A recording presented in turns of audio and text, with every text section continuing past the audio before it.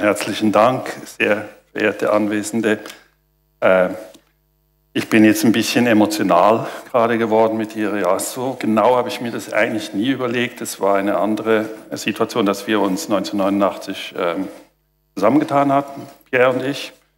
1989 ist für mich tatsächlich ähm, am 9. November her eine wichtige Zeit. Ich bin 1957 geflohen worden, aus der Republik rausgeschwommen im Fruchtwasser meiner Mutter durch Berlin und dann später in die Schweiz gekommen. Und dann war es natürlich bei uns zu Hause ein wichtiger Tag. Und den habe ich auch mitgenossen. Äh, der Gotthard ist ähm, noch nicht gebaut. Er ist äh, als Gotthard-Basistunnel fertig äh, in, äh, in, äh, im Sinne, äh, dass am 1. Juni die SBB den Betrieb übernehmen konnte. Und sie fährt jetzt eine ganz erkleckliche Anzahl Passagiere durch. Das ist ja eigentlich das äh, etwas weniger Wichtige. Oder die eigentliche Intention ist die Flachbahn, die den schweren Güterverkehr äh, mit möglichst wenigen Steigungen durch diesen Alpenraum bringen soll und damit am europäischen Markt. Einen Teil hat man durchs Wallis versucht zu bauen, ist dort noch nicht ganz fertig gebaut, nicht mal fertig gebohrt, das wissen die wenigsten. Es ist also noch ein äh, kleiner Hosenlupf, den Lötschberg-Basistunnel äh, fertig zu bauen. Und die Walliser und die Touristen, wir alle, genießen das. Also es ist dann plötzlich doch was Wichtiges, durch einen Tunnel als Mensch durchzufahren und nicht nur Güter durchzulassen. Dem Gotthard geht es jetzt auch ein bisschen so, was Sie haben es vielleicht im Tagesanzeiger gelesen, die äh, Passagierzahl logischerweise am alten Scheiteltunnel oben demjenigen von Pierre Favre und seinen Leuten, also den Escher, die Escherlinie, die geht jetzt zurück. Und das möchte ich auch ein bisschen beleuchten. Also ich mache den Blick in den Gotthardraum und deswegen Seitenblick, nicht nur Rückblick, auch ein bisschen Vorblick. Mit dem Seitenblick drücke ich das aus. Das hat natürlich auch mit dem Bahnfahren zu tun, äh, weil das Komische an so einem Tunnel ist, dass man ihn, wenn er dann mal in Betrieb geht, eigentlich nicht mehr sieht. Grenzenlos ist auch eine Geschichte, die ich mir dann jetzt, ich habe immer wieder so ein paar Sachen jetzt einzuflechten, die ich aus dem heutigen Tage gelernt habe oder bisher gelernt habe. Ich bin immer noch im Lernprozess drin, aber Monsterprojekt habe ich mir dann aufgeschrieben. Äh, das muss ich jetzt irgendwie versuchen klarzustellen. Das kann ich aber nicht mit einer dusseligen Erklärung, sondern da muss ich vielleicht jetzt mal äh, hineinsteigen. Ich denke, es hat ja tatsächlich was Monsterhaftes. Ich bin vorhin auch vom Maßstab her angefragt worden. Das ist ein riesiger Maßstab. Es ist auch eine große Summe, die die Schweiz selber äh, äh geleistet, finanziert hat. Also nicht Ärmelkanalmäßig und so weiter, sondern wir sind selber die Großen und wir versuchen jetzt mit, mit der, unserer Bahn durch den Tunnel durchzugehen. Diesen Stolz hat man auch in der Bevölkerung gemerkt bei der äh, Inbetriebnahme. Ich sage immer Inbetriebnahme. Wir sind noch am Bauen an den Portalen aber ähm, es läuft und funktioniert. Dieser Teil, wenn ich vorhin gesagt habe Flachbahn, dann gibt es ja einen wichtigen südlichen Teil dieser Strecke Gotthardachse. Das ist das, was im, auf der anderen Achse fehlt. Dort gibt es den Simplon-Tunnel, der aber so steil nach Italien runterrutscht, dass er keine Flachbahn in dem Sinne ist. Er ist ein Zwei-Rohrsystem immerhin. Aber die eigentliche Alptransit-Flachbahn wird auf der Gotthardachse sein. Also hat was Monsterhaftes. Lassen wir es mal im schönen, lieben Sinn stehen. Was ich aber ganz äh, gerne mitnehme, ist das äh, Thema Erregung. Wir müssen emotional sein und emotional auch denken und planen. Wir haben heute früh von der Theorie gehört und das Spannungsfeld zur Praxis äh, ziehe ich jetzt auf.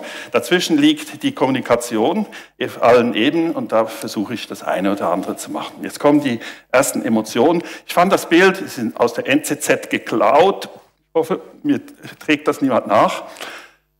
Äh, ich fand es fantastisch. Da ist nichts künstlich im Sinne von Schmuck oder Ornament oder sonst was drin. Das Einzige ist das blaue Licht, das vom, meinte ich vom Schweißen her sogar noch kommt, also noch nicht mal, das ist eigentlich so gewollt, aber es hat alle Elemente, die äh, zu einem Kunstraum auch äh, führen können. Es ist die Phase ist es nicht das äh, eigentliche Rohr, sondern die Phase des Spurwechsels. Sie sehen, nach rechts geht ein Gleis weg, im Tunnel drinnen gibt es noch Verzweigung. Und diese Assoziation, die bringe ich einfach nicht weg, die habe ich immer gehabt. Und wir wollen jetzt nicht den Herrn Schikaneder oder den Herrn Mozart noch äh, weiter beschäftigen, auch nicht den Herrn Schinkel, der dieses Bild ja entworfen hat, sondern nehmen Sie das einfach in die Erinnerung, in Ihr inneres Ohr mit, dass man solche Assoziationen haben kann. Eine andere, die haben Sie vielleicht auch gehabt, wenn Sie da in die Stadt Zürich kommen. Das hier ist der Sielraum. Es ist aber ein Tunnelbauwerk. Also das ist das, der Ertrag des äh, Gotthardtunnels, deswegen erlaube ich mir jetzt auch das Zitat. Und äh, ich würde jetzt mal behaupten, hier hat sich in der Stadt etwas Landschaftliches, aber natürlich auch Städtebauliches ereignet mit diesem Bau. Äh, beim heutigen Tunnel, der nach Talwil führt, der Brunau, unter der Brunau durch, ist das einzige Highlight ein Ingenieur ähm. Die Bohrmaschine ist nämlich durch ein in Betrieb stehendes Parkhaus durchgefahren von einem Gebäude und sonst ist sie irgendwie und kommt jetzt in Saalwil wieder raus. Also dieses Problem haben wir heute, dass die Ingenieure sich sehr schön vergnügen. Unten, sie brauchen aber immer noch Installationsplätze. Und was machen wir mit denen?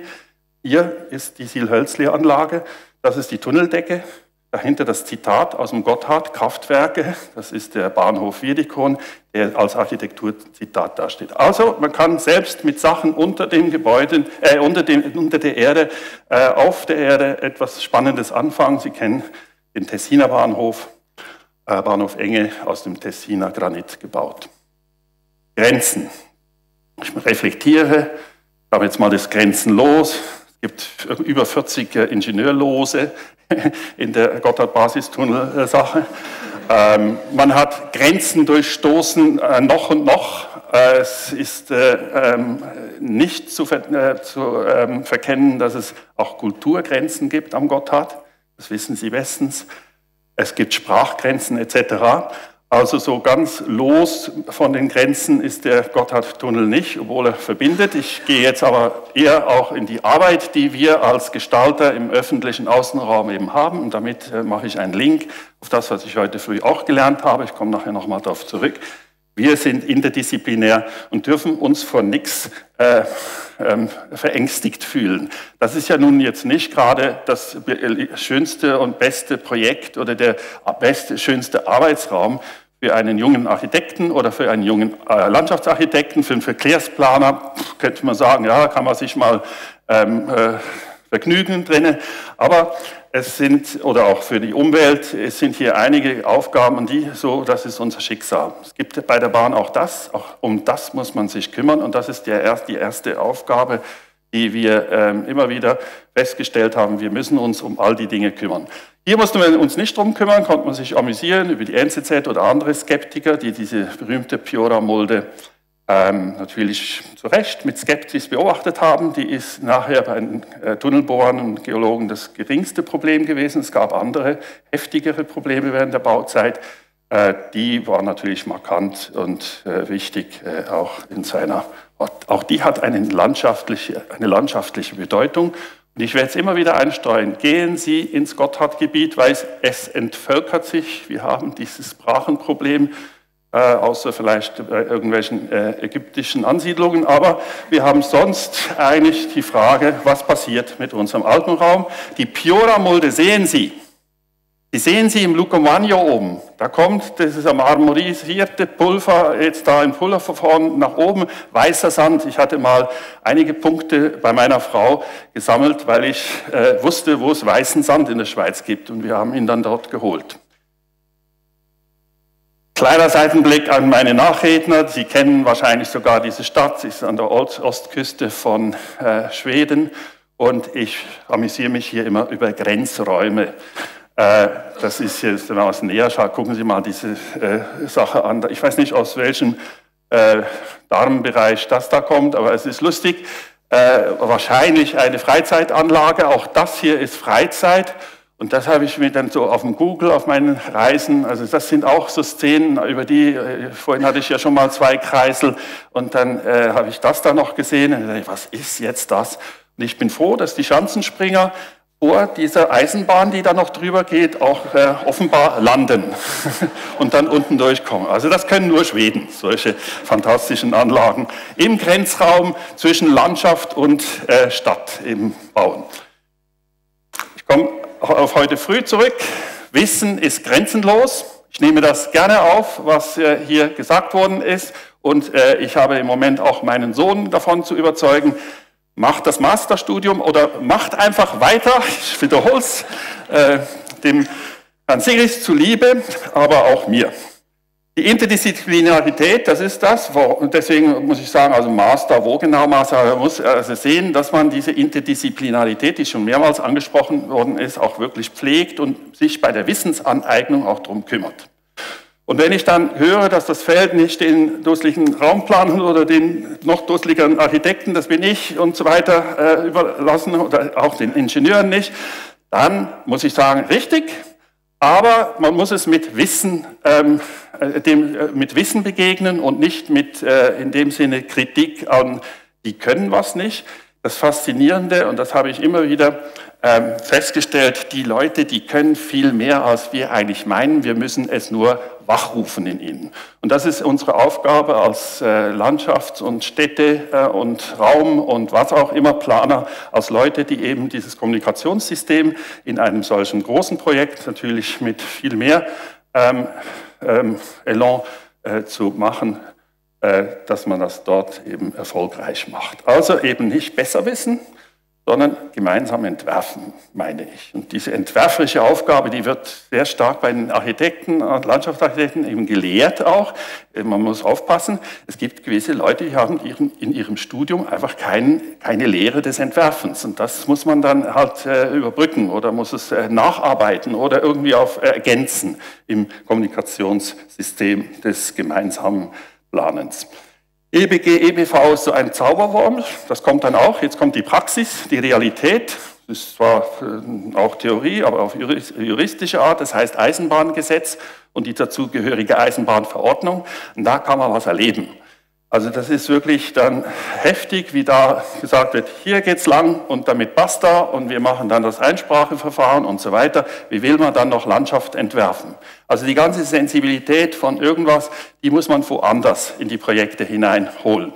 Das ist ein Teil eines Portals des längsten Eisenbahntunnels der Welt und kein Mensch würde da drauf kommen, wenn er nur das sieht. Und äh, wenn die Ingenieure von Anfang an gewusst hätten, dass sie das bauen sollten, hätten müssen, äh, äh, dann hätten wir wahrscheinlich äh, ziemlich Ärger gehabt im Haus. Das ist entstanden im Dialog.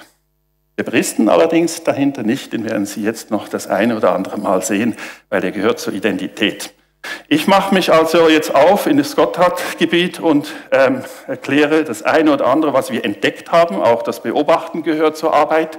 Das ist, super, ist ähm, äh, die äh, Anlage, wie Sie jetzt heute, wenn Sie merken, wir reden jetzt mal von dem Raum und der Gotthard ist da.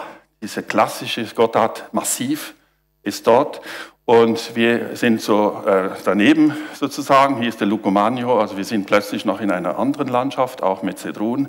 Äh, das muss man erstmal auch hinkriegen. Trotzdem muss man sich bei dem Wegesystem äh, eben um den Gotthard kümmern. Und das hat, deswegen haben wir auch einen Blick zurück. Kulturelles Denken, das ist äh, eine bestimmte Kultur. Das ist da Zürich, wo ist es jetzt hier oben? Da, äh, der Herr Escher, der sein Herzblut da. Die deutschen Ingenieure, die haben hier gedacht, das ist das kleine Deutschland hier. Ein bisschen, äh, dann ein bisschen noch ein bisschen Holland. Hier ist die große Schweiz und dann kommt dann wieder Italien. Ne? Und ähm, gearbeitet wurde ja hier bekanntlich, ne? in den Gedärmen. Also das, und die waren auch eher italienisch und portugiesischsprachig, wie auch immer. Das ist ähm, so ein bisschen auch Sozialgeschichte natürlich. Wir haben es dann wieder maßstäblicher gezeichnet, aber es hat wieder einen neuen Maßstab drin. Achtung. Und wenn Sie da genau drauf schauen, es ist jetzt plötzlich dieser Gotthard-Basistunnel, er hat hier noch ein kleines Fenster und da noch eins. Äh, hier geht es dann am See lang und die eigentliche Strecke sollte ja auch hier nochmal im Tunnel sein. Also wir haben plötzlich nur noch zwei Minuten im Urner Reustal und wir haben eine Minute 55 Sekunden äh, im, äh, in der Riviera Tessin und dann noch ganz kurz ein Fenster, wenn es dann hier mal in der Magadino-Ebene alles fertig ist, von noch ein paar Sekunden. Und mit dem beschreiben wir den Alpenraum. Also da müssen wir schon noch drüber nachdenken, ob das so, äh, was dabei rauskommt. Deswegen die Frage nach dem Raum oben. Also diese Botschaft haben wir mal gebracht. Noch einen kleinen Einwurf zum Grenzenlos. Äh, in eine Bahn, das sind ja zwei Schienen, meistens Doppelspur, und die müssen ja immer weitergehen. Ne? Und eben auch nach Italien. Sie wissen, in, der, in Europa hat es mindestens fünf Stromsysteme und so. Man kann froh sein, dass es die Spurweiten einigermaßen hat. Die Russen und die Spanier mach, äh, springen da noch raus. Es gibt also 15 verschiedene Spurweisen und äh, ungefähr 10 davon hat die Schweiz, das weiß man gar nicht. Also Normalspur und Meterspur ist noch das eine, ne? es gibt dann noch vieles mehr. Und äh, dann geht es jetzt hier darum, wie kommt man nach Italien. Es gibt oben noch die Linie nach Luino. Das ist alles noch offen. Ich zoome es ein bisschen her. Gebaut wird jetzt nur am Ceneri, hier der Ausgang Richtung ähm, Vezia und dann geht es hier auf der normalen Linie zum Bahnhof äh, Lugano. Und alles, was hier farbig ist, ist alles noch offen. Das ist alles Zukunft oder vielleicht und so weiter. Also es wird schon ähm, Sachen geben, aber so stehen wir da. Deswegen sage ich, fertig gebaut, das System ich rede jetzt heute nicht von der Magadino-Ebene, hier sieht man Visualisierung, ist vieles hier schon auch jetzt im Bau und schon sichtbar, äh, ungefähr so, vielleicht sogar noch, also noch, noch weiter, das sind ältere Bilder. Ähm, das wurde sogar schon eröffnet, diese Brücke. Die Ingenieure lieben ihre Bauwerke und haben sie Licht inszeniert. Das ist äh, also denen ein ganz wichtiges Foto. Ich gehe jetzt unter Tag zum Gotthard-Basistunnel. Da treffe ich eine Dame, ein kleines Mädchen und das fragt, was, warum leben die Mäuse hinter der Welt, sagt sie. Und das ist so festgehalten. Diese Dame ist schon so alt äh, wie ich jetzt auch. Ich habe sie geheiratet und äh, sie hat mir diese Geschichte erzählt, war natürlich sehr beruhigt, äh, berührt auch äh, über das Nachdenken, was eigentlich jetzt ein Tunnel überhaupt auch ist. Das ist der Tunnel. Und wir sollten den gestalten, von dem man eigentlich überhaupt nichts sieht äh, wurde eröffnet. Das haben Sie vielleicht noch von den Zeitungen. Und äh, jetzt gehe ich in die Bergwelt. Das ist Karl Bleichen, auch aus dem Ostercottbus, glaube ich, und so. Er hat tatsächlich hier diese Brücke gemalt, als erstes Mal einfach so, wie man baut. Die Angst äh, von diesem wahnsinnigen Schöllenteil äh, kommt langsam in, in, diesem 19. Jahrhundert äh, so langsam weg. Man wagt sich dahin obwohl man äh, hier, und dann kommt später dann diese Straße, gehen Sie dort jetzt mal hin. Es ist zwar jetzt immer noch viel Verkehr und es wird dann wieder werden. Im Moment ist es im Umbau. Man macht Velorouten rein, wunderschöne. Äh, äh, der wird jetzt, das ist noch ein altes Foto, aber dasselbe wird jetzt neu hier wieder aufgebaut. Äh, fantastische Arbeit. Ich äh, klinke hier immer irgendwie zu schnell. Äh, das ist der Ingenieurplan dazu. Man will also den Fahrrädern auch noch was. Und Sie sehen ja, wie das dann dramatisch äh, wird. Äh, in der Landschaft ist es noch dramatischer. Und dann kommt man oben zum dem, wo sie auch unbedingt wieder hin müssen. Auch das muss jetzt behindertengerecht und so weiter ausgebaut werden. Äh, zum Glück, das hier, das kann so bleiben, weil es zu heilig. Und auch da haben sie dann Angst vor dem anderen mit dem Boxfuß, äh, dass das jetzt nochmal so ein Problem werden könnte. Also man hat hier so eine gewisse Andacht. Auf der anderen Seite ist viel lustiger, das ist der Kulturraum äh, Tessin. Die haben keinen Teufel, die haben die Tremula und tanzen die Tremula rauf und runter mit den Fahrrädern jetzt heute ja und äh, eben der Teufel ist immer noch das Geschichtlein äh, mit seiner Mühe und Not, sogar noch verschoben mit diesem Stein. Äh, das ist die Kulturgeschichte der alten Bahn. Das gibt es vielleicht dann mal gar nicht mehr. Also ich will hier nicht den Teufel an die Wand malen. Aber die Bergstrecke oh, ist dann schon ein happiges Stück, die zu unterhalten. Jaskina ist dasselbe. Die ist auch noch oberhalb von unserem Tunnel.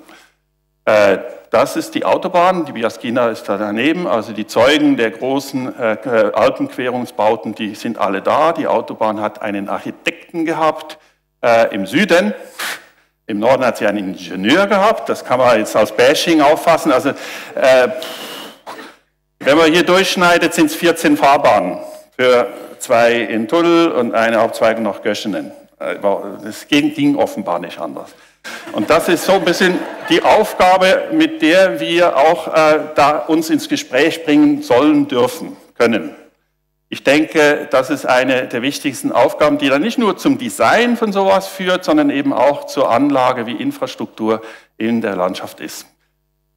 Das ist die Gruppe, ich lese jetzt nicht alle Namen vor, die an diesem äh, ähm, Gotthard-Basistunnel äh, gebaut oder ähm, designt oder eben die Ingenieure bezirzt haben.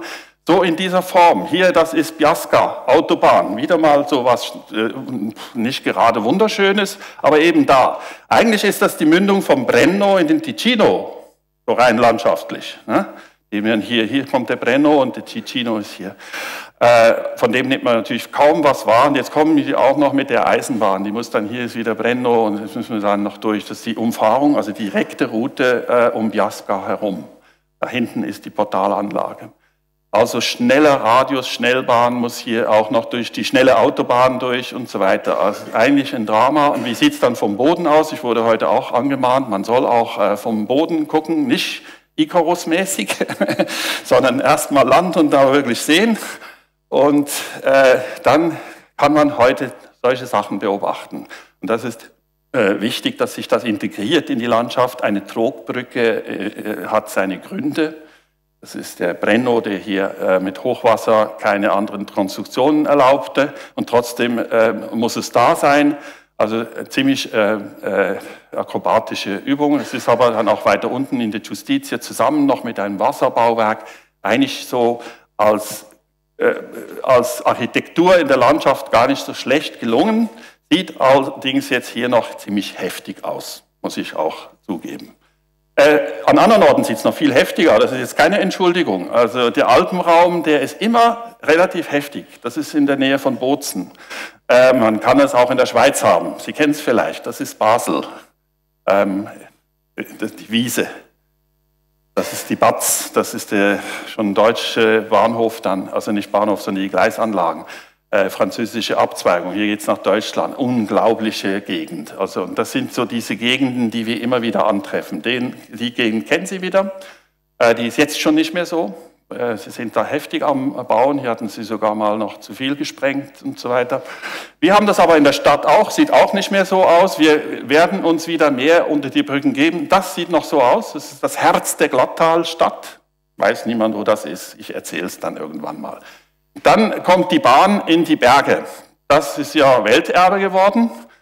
Äh, die haben sich aber nicht groß um Welterbe gekümmert, als sie es gebaut haben. Das darf ich euch auch noch sagen. Das ist das, was wir dann uns damit auseinandersetzen müssen. Wie baut man denn sowas? Das ist eine fantastische Gegend da in diesem, an der Albula-Strecke mit den Kehrtunneln. Aber die haben einfach genommen, was sie hatten und dann wurde das da über die Wälder runter und sonst was. Äh, heute wird das so nicht mehr gehen. Trotzdem ist die Landschaft auch wieder zurückgekommen.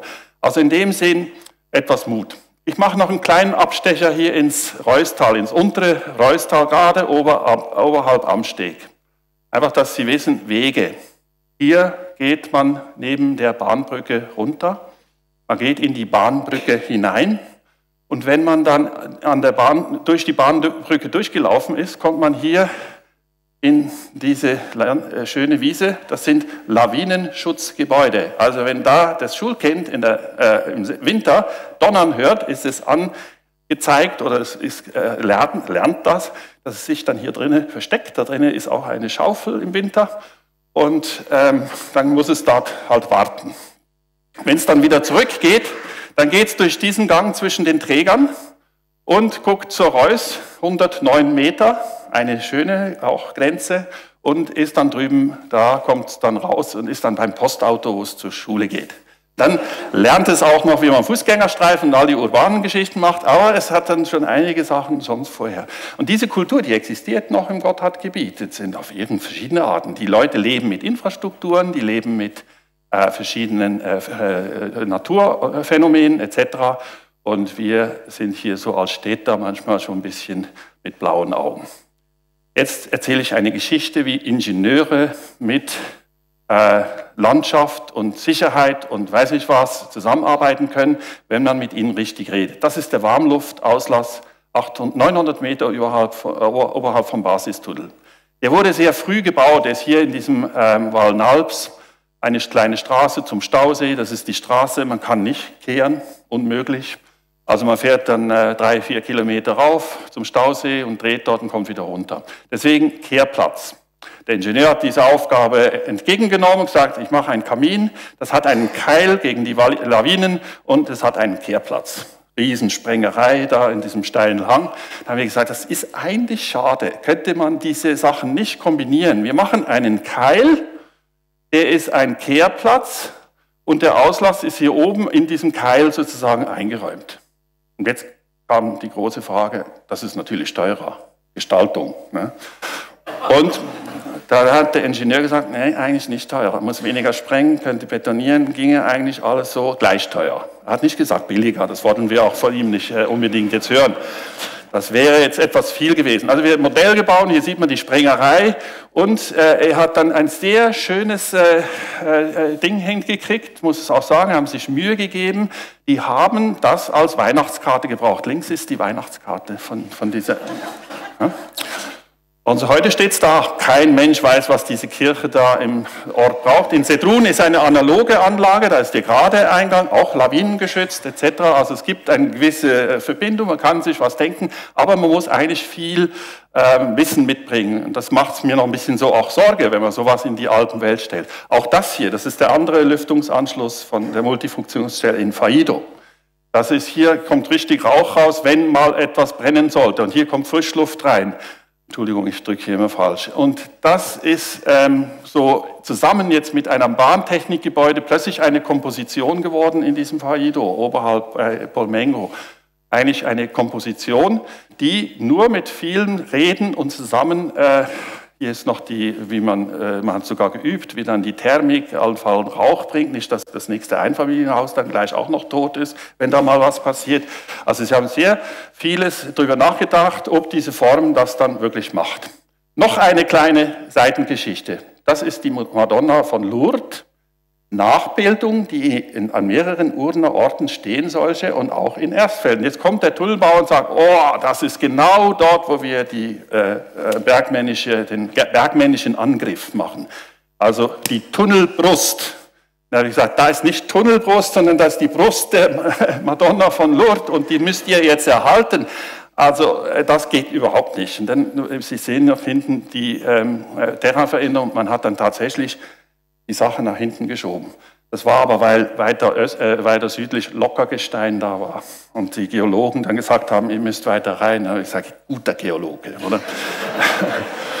weil Efeu, also viele, viele Meter hoch und diese Wallfahrtort, ihr seht jetzt da hinten, hier sieht man einen Tagbau, der ist schon zugedeckt und da hinten ist diese Tunnelbrust. Oder? Und äh, heute ist alles noch da. Also auch bewahren geht. Ich gehe jetzt ganz schnell durch Vorgaben durch. Ihr seht, wir haben ganz viele Bauten und ich erzähle zum Abschluss von der verbotenen Landschaft des äh, Portale, also die beiden. Die sind nicht so klassisch. Die sind auch nicht so wie am Chenery, sondern sie sind auch nicht so, wie die Tessiner Architekten dann gedacht haben. Jahrhundertbauwerk. Sie sind auch nicht so, wie ein Landschaftsarchitekt gedacht hat, sondern sie sind die Antwort in diesen Tälern drinne, längs, äh, wie man abzweigt, aus einer alten Spur einfach links abbiegen. Fertig. Also ziemlich äh, happig. Und dann haben wir uns überlegt, wie sowas sein könnte. Äh, es ist heute da, mehr oder weniger, Simulation, aber noch äh, fast, äh, heute fast schon so da. Wir haben dann hier auch mal gedacht, liegt die Bahn oben und die alte unten, die bündelt sich hier, sie ist nicht mehr gerade und so weiter. Und dann hat man mit Modellen angefangen zu arbeiten und die beiden Rohre rausgezogen und wir sind draufgekommen, eigentlich könnte das so eine flache Böschung sein. Die Überwerfung, die Bahnlinie selber stellt eigentlich das Portal dar und nicht diese zwei Rohre, die da rauskommen. Also wurde das zum Portal und nicht zwei Rohre, die irgendwo aus dem Berg kommen, versetzt wegen der Luft. Also hier kommt warme Luft raus, die soll nicht reingezogen werden, deswegen ist die länger, ist auch von der, von der Flankierung her äh, eigentlich äh, einfach und so weiter. Und so hat sich dieses Projekt immer weiterentwickelt, wurde dann plötzlich zu dem, hier hat noch die Thermik dann auch noch mitgespielt, also das war eigentlich eine gute Sache, dass diese Steine warm sind kläre ich nicht im Detail, aber Weichen in der, in der Krümmung, Schnellfahrweichen sind eben schwierig, deswegen gerade, also hat sich das noch dreimal hin und her geschoben, bis es jetzt heute an dieser heutigen Lage da am Hang ist. Ein bisschen äh, traurige Konsequenz ist diese Steinschlagwand da, weil es halt einfach wegen den geraden Gleisen so stark dahin musste. Sieht schrecklich aus als Baustelle, es geht dann aber auch wieder zurück. Von dem her ein kleiner Trost. Pläne und was ich noch dazu sagen will. Es gibt eine Landschaft. Wollen Sie den Plan noch genau studieren? Das ist unser tägliches Brot gewesen. was diese Konsequenz von diesem Steinschlag ist, ist das. Gehen Sie am Portal und laufen Sie einmal ums Portal herum. Es hat doch seine Faszination. Immerhin. Also man kann dem auch was abgewinnen. Es ist deswegen jetzt ein begehbarer Raum zu der Bergwelt hin. Mit der, also hier hinten, von da rede ich, man kann hier einsteigen und um dieses Portal herumgehen. Das erzähle ich jetzt nicht. Gucken Sie mal das an, wie diese schwierige Situation in der Reus-Ebene ist. Also da kann man sich manchmal auch nur ärgern. Wir haben aber auch vieles gewonnen, auch dank den Urnen. Und äh, zum Abschluss die Landschaft hinter dem Portal. Also Sie haben das schon ein bisschen kennengelernt, das ist das Überwerfungsgleis. Im Süden ist es äh, die Straße und das Gleis. Das einzige Großbauwerk, das im Süden und im Norden eine analoge Sprache spricht. Ich behaupte das einfach mal, das durch die Alpen durchgeht. Immerhin. Es wurde dann gebaut und Sie sehen, hier hinten ist dann plötzlich Leerraum.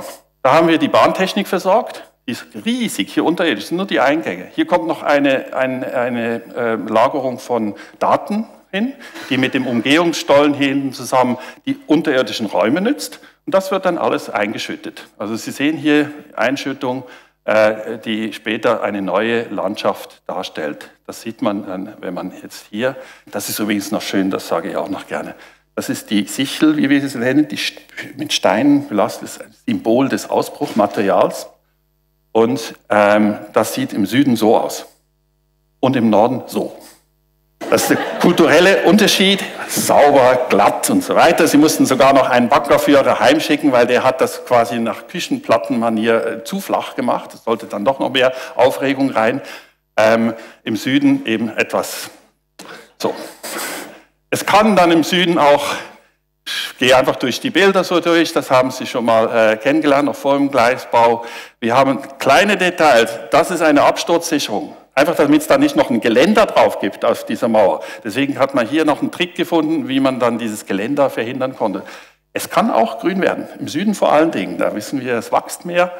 Und mit dem Bild äh, schließe ich jetzt meinen Vortrag, der noch viel länger sein könnte. Sie können sich vorstellen, da gibt es noch tausend Geschichten. Das ist Flora Rüscher, leider äh, verstorben in ihrer Arbeit. Sie hat uns ja immer wieder sehr auf die Beine geholfen und äh, der Diskurs mit ihr, sie hat nicht einfach jede Form designt, sondern es war immer das Gespräch und immer der Austausch und dafür äh, sind wir ihr heute auch sehr dankbar, Sie in Ehren als Schlussbild.